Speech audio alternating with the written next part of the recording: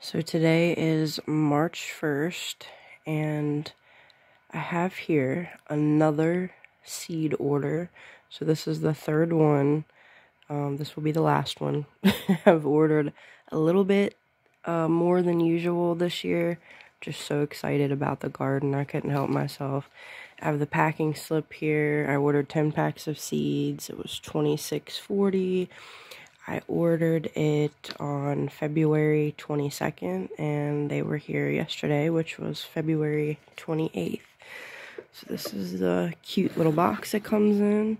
This will be good for storing your seeds. Then it comes with a seed starting guide, which is really cool.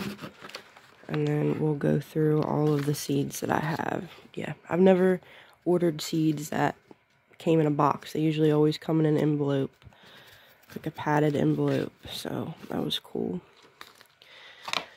So first one, the mouse melon, the cucamelon, the Mexican sour gherkin. Um, I planted this in 2021. These were really cool.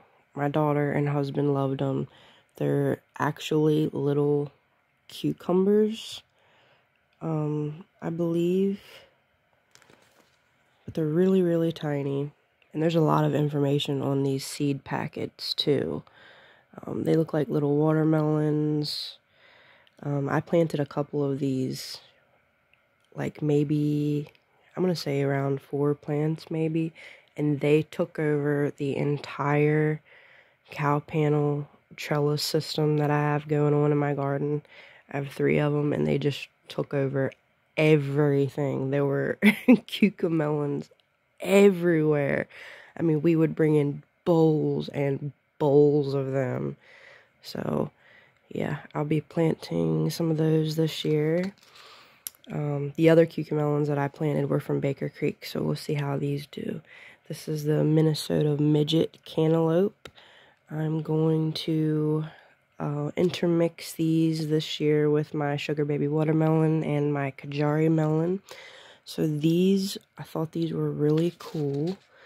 They are somewhere I saw that they're around like, okay, four inch fruit, sweet and juicy. So they're little tiny, personal sized uh, cantaloupe, not really big.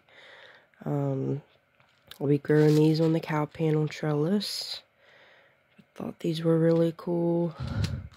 And then the hollyhocks, black hollyhock. I don't believe that these will bloom the first year, but I think they're biannual. I've seen many, many different um, many different videos that say many different things. They bloom the first year, they don't bloom the first year. They're biannuals, which means they bloom the second year um, and they drop seed. So we'll see about this, but I really want to have some of these in the garden. Um, I thought they were so beautiful, and apparently they're edible. Somebody has said they're edible. Um, don't know about that. I'll have to do some more research, but these are just so gorgeous. If you watch any videos on YouTube, look at the black hollyhock. They were they're just so crazy looking, really beautiful. And then we have the peach melba nasturtium. As you know, nasturtium, the entire plant is edible. The leaves, the flowers. You can make a nice salad, really beautiful. Um, Taste a bit peppery like watercress, adding a kick of flavor and color to salads, attracts pollinators and beneficial insects. Um, usually grown as an annual, perennial in zones 10 and warmer, fairly drought resistant, rabbit and deer resistant. So that's really cool. And then um, I usually only have like the red and orange nasturtium, so I wanted to get something a little different. Um, and then I wanted to try the vining, trailing nasturtium. So, thought this would be really cool to put in like some hanging baskets or try to trail it up some trellis trellises out in the garden. I just love the look of these. The the green foliage in these plants, they look like uh like lily pads. And they're really really like circular lily pad looking shape, so something different. I always thought these were really cool. I love these. And then apparently, if I remember correctly, they're also like a good trap crop uh, to keep certain insects away from your vegetables. So, but I always have some of these in the garden. I just love these. They're so cool. And then I got the Queeny Lime Orange Zinnia. So, I don't know if you can tell, but the center of these are green and then the outside is a really bright fluorescent orange. Um, always see pictures of these zinnias. Always have wanted to try them. They're so expensive though. They're like this pack was six twenty nine, and it's actually in like a little tiny thing here. But yeah, I hope these um, actually look like all the pictures that I've seen because they are so beautiful. They have Queen Lime Blush, Queen Lime Red, Queeny Lime Orange.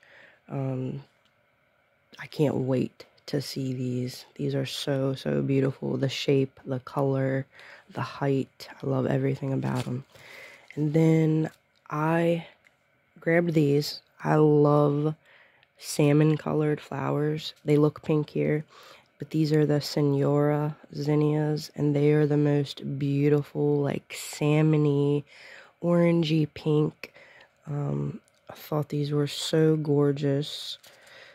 Um, so yeah, these will be like the pom-pom shaped, just like the queen lime orange. But my favorite color, this is actually my husband's favorite flower too, so I always like to grow some cool varieties of that black eyed Susan vine. I don't know anything about this. I need to do some research, but I've always wanted, every time I go to the nursery, like our local plant nursery, I always see a black eyed Susan vine in there, and I always want it, and it's always crazy expensive, so I want to try to grow my own.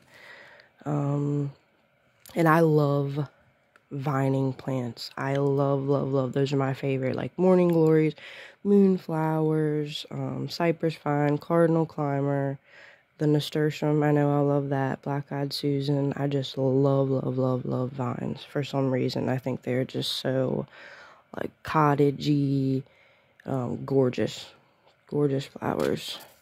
And then the holy basil or tulsi.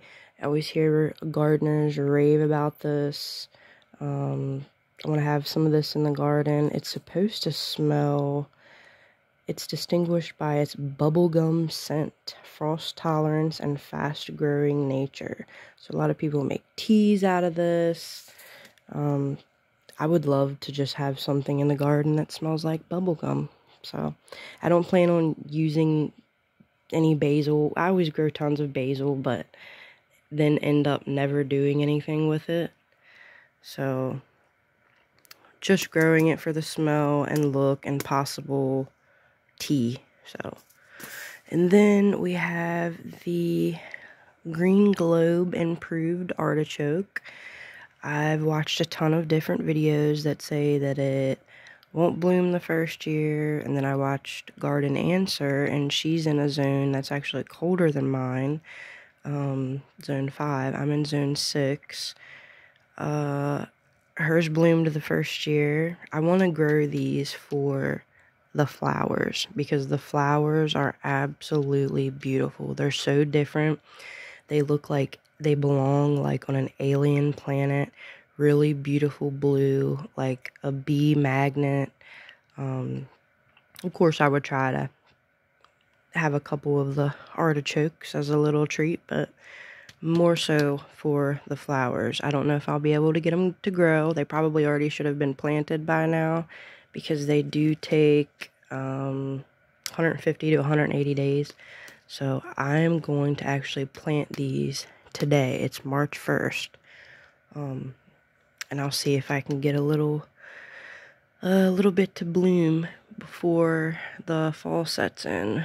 So, again, a lot of these plants that I ordered here, I don't know that much about, like the nasturtiums, the vining nasturtium, the black-eyed Susan, um, never grown this, the the hollyhock. I've never grown this, so a lot of these are first time uh, things for me.